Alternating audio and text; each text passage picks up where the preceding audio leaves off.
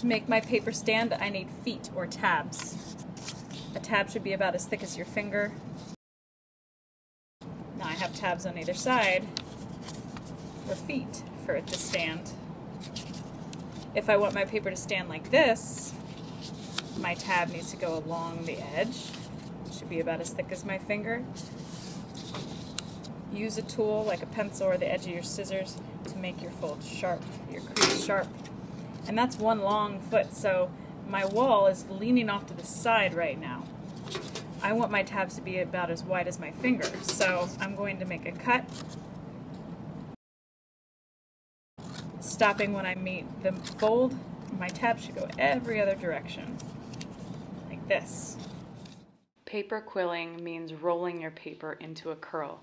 Use a tool, like a pencil, to roll your paper up with. Hold on to the paper as you roll. To make fringe, first you have to fold your tab about as wide or as thick as your finger. Use a tool to fold the crease sharp.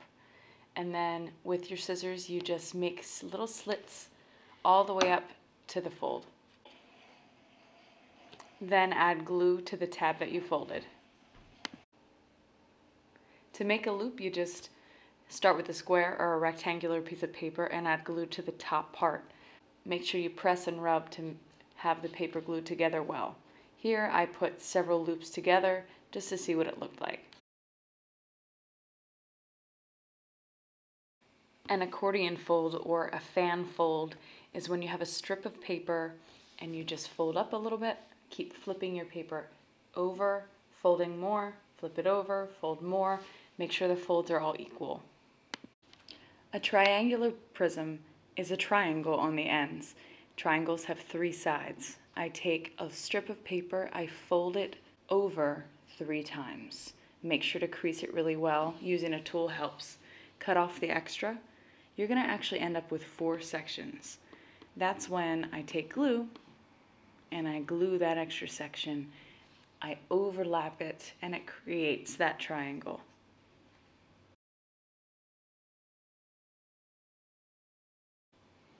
A rectangular prism works the exact same way. I want to have a square on each end. So a square has four sides. I fold the strip of paper up over itself four times, making sure I crease it well with a tool, cut off the extra, add glue to that fifth section because a square only has four sides, and I overlap one on top of the other to create the prism. A cylinder is the shape of a cup. So I'm just creating a circular shape with my paper. You just add glue to one short side of your rectangle and roll it over itself. Make sure you're not squishing it when you're trying to have the glue stick. Instead, pinch the paper both on the inside and the outside. Now, I need to attach it to my paper somehow. To do that, I need to cut tabs or feet for it to stand.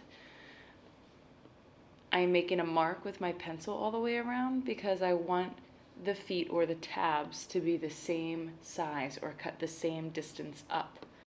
Then all I need to do is fold out the tabs and I have a strong base for my cylinder to be glued down.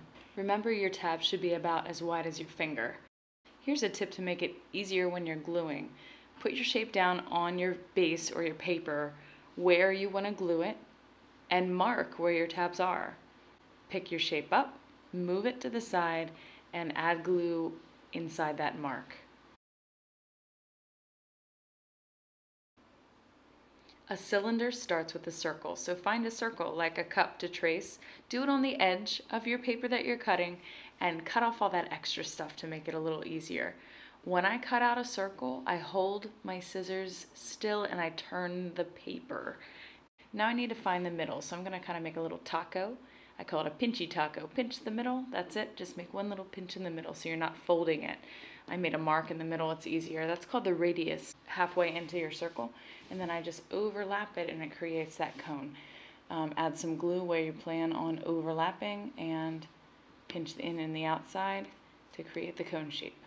Now, just like the cylinder, I want it to be attached to the paper somehow, so I'm going to add tabs all the way around fold them out, and I'll have a really cool strong base.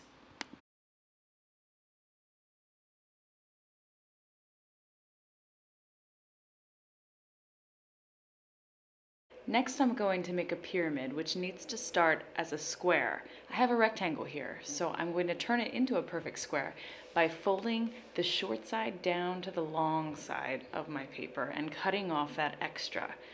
See, a square is just two equal triangles. You can see that right when I unfold it.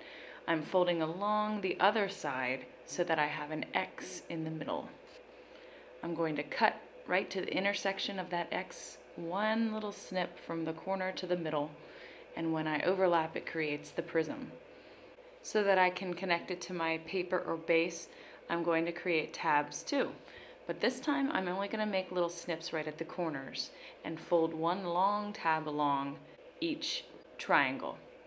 To do that, I hold it upside down and pinch to make the tab, and then setting it on the table and kind of making a crease with my fingernail helps. It's a little easier to make that tab.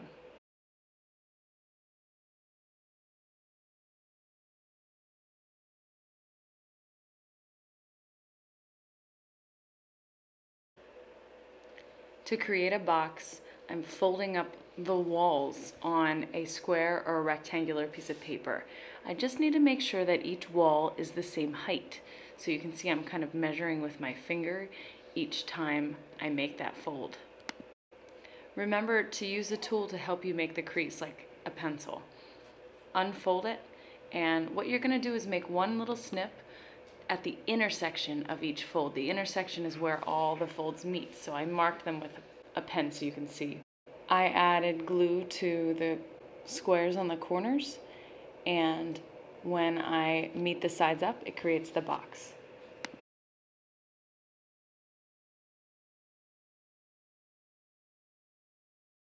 When you're putting away your glue, please turn it so the glue goes in a little below the rim and grabbing a wet wipe, wipe off the edge. Being a responsible artist so that you can use your tools more easily next time.